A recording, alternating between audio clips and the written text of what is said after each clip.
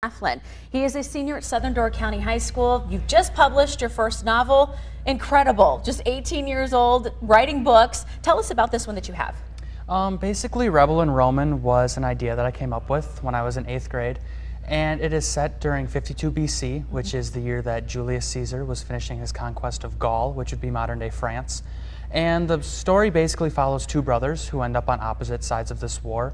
They're both natives of Gaul, but they were fighting for the Roman army.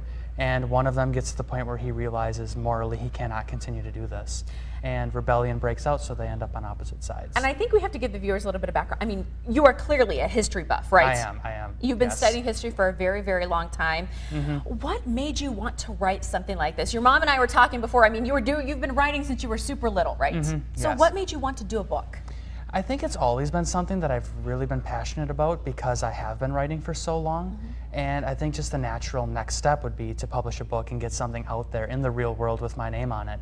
And loving history so much, I thought the best thing to do would be to write a historical fiction novel where I could stick with the history that I really enjoyed, mm-hmm. but also add my own element of fiction to it. What did it feel like whenever you got your first copy in your hands? It was phenomenal. I remember coming home and I got my first proof copy and mm-hmm. I just mm-hmm. kind of tore the box open. Like, this is so awesome. and it's like, look, this is a book with my name on it. Mm-hmm. And I thought that was really cool. You know, I read a lot to now have a book that I actually it's did. yours. Yeah. That is absolutely incredible. What was the process like? I mean, like you said, you've been doing it, working on it for quite a while. What was it mm-hmm. like to finally get it finished? It was it was kind of relief uh, mm-hmm. knowing that I have been working on this thing for about three years and now it's finally done. Um, but it was also really encouraging to know that now I have a book, I can do this, right. and now I can move on and do more. So now I have one under my belt and I hope to continue it. And that's right, you have plans for more, right? So you're already working on the next one. I do. Um, I have another three books actually that are part of a trilogy. Mm-hmm. Um, one of which I just got back the edited rough draft, mm-hmm. so I will begin making my edits on that.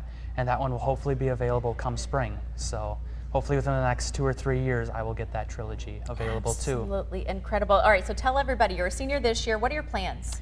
Um, I plan to attend Martin Luther College in New Ulm, Minnesota next mm-hmm. year to pursue pre seminary studies for the Wisconsin Evangelical Lutheran Synod, so the pastor route. This is absolutely incredible. You are such a gifted, gifted young mm-hmm. man, and this is not the only time we're going to be seeing you. Thanks so much for being with us, Austin. Thank you Congratulations and great, great work. Thank for you more information about Austin's book and where to purchase it, just visit our website and click on this story.